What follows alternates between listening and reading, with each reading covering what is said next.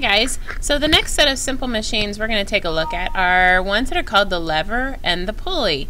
And so the lever and pulley are two more of the simple machines and we've already looked at a few of them and these are the last two because there's six in all. And so we're going to watch a quick video about the lever and then another quick video about the pulley and I want you to think about everyday examples that we'll find in life that have the lever and the pulley as part of them. And remember the lever and the pulley always its job is to make work easier. So we have to use less force. Okay, so here is the lever. The next simple machine we're going to discuss is called a lever. A lever is simply a rigid object or bar that pivots around a fixed point, called a fulcrum. A lever reduces the amount of effort needed to lift or move an object. Let's say you want to move this large rock. You can push it, but this rock is too heavy. To make it easier, you can use a lever. All levers have three parts. The first part is the object that is to be moved, called the load. You also need a fulcrum. That's the fixed point where the bar can rock back and forth. A log works well. And you need a bar, like this 2x4. The third part of a lever is the effort. That is the effort or force you need to move the load. When you put force on the opposite end of the lever, the rock moves. A lever is any bar that pivots around a fixed point or fulcrum. There are three kinds of levers. The first type of lever is called a third-class lever. A good example of a third-class lever is a rake. A third-class lever has the fulcrum at one end load on the opposite end, and the force in the middle.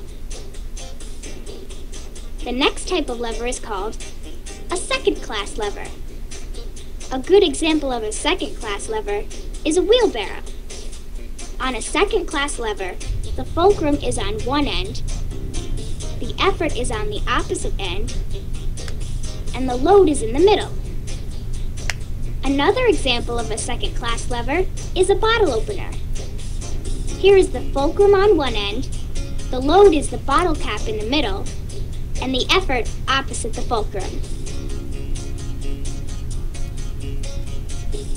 The third type of lever is called first class lever. A seesaw is a great example of a first class lever. On a first class lever, the fulcrum is in the middle. The load is on one end, and the effort is on the opposite end. A crowbar is another example of a first-class lever. Here is the fulcrum. The load is the nail, and the effort is applied to the opposite end of the bar.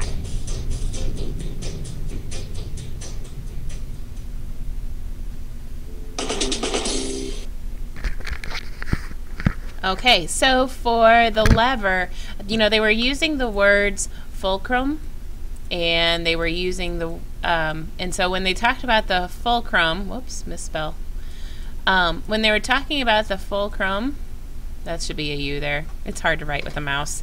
Um, whenever you were talking about the fulcrum the fulcrum is um, I always like to think of it as the point of pivot okay? And so um, it's kind of like on that seesaw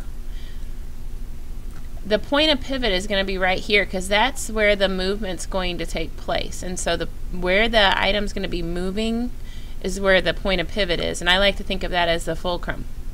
The um, load, I always like to think of it as what you're trying to do. So if I'm on a seesaw and I'm trying to um, push my partner up into the air, then um, then my partner would be the load for me, right? And so and I'm the load for whoever I'm seesawing with.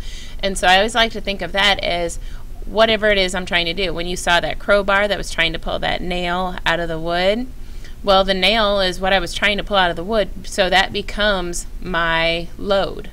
Okay, and so the load, ooh, big L. Um, so the load is what you're trying to do with your lever. And then the effort, that's where the work is being done. And so you guys saw on the example with um, the wheelbarrow, the handles of the wheelbarrow, that's where the work is being done. That's where I'm placing the effort for the wheelbarrow so that I can actually make it do its job. And so on the wheelbarrow, the two handles that I hold onto and lift up on, that's going to be where my effort is going to be placed. Okay, so now we're going to get into the pulley, and that's our next, our last simple machine. A pulley is a simple machine that is made up of a wheel on a post with a rope or cable around the wheel. Pulleys can make work easier to do by changing the direction of a force. For example, a pulley is used to raise a flag on a flagpole or to lift heavy objects. As you pull down, you change the direction of the force that brings the flag up. That makes the work easier. This type of pulley is called a fixed pulley. Another type of pulley is called a movable pulley. By using one movable pulley, you can reduce the amount of force needed to use by one half. A pulley changes the direction or amount of force. Pulleys are used everywhere in the real world. A clothesline uses a pulley. So does a ski lift.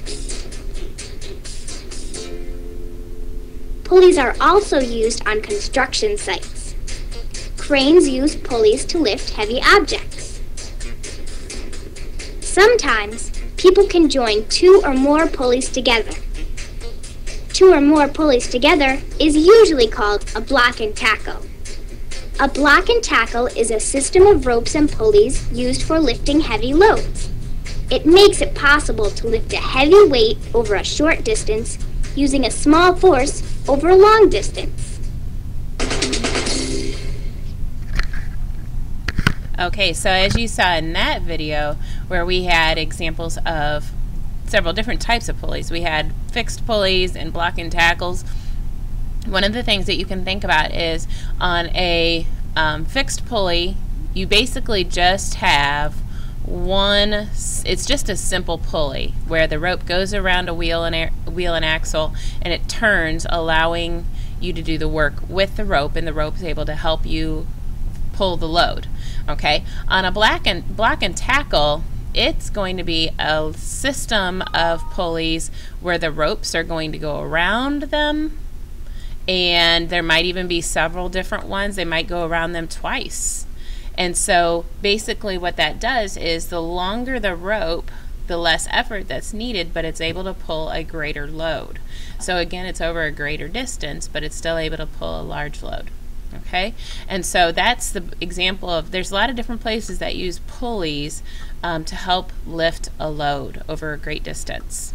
Okay, so what I want you to do today is I want you to think about some examples in everyday life where the pulleys and levers are used you can think of the ones that were shown in the video, and some of you might have your own examples of um, some of these simple machines in your home as well.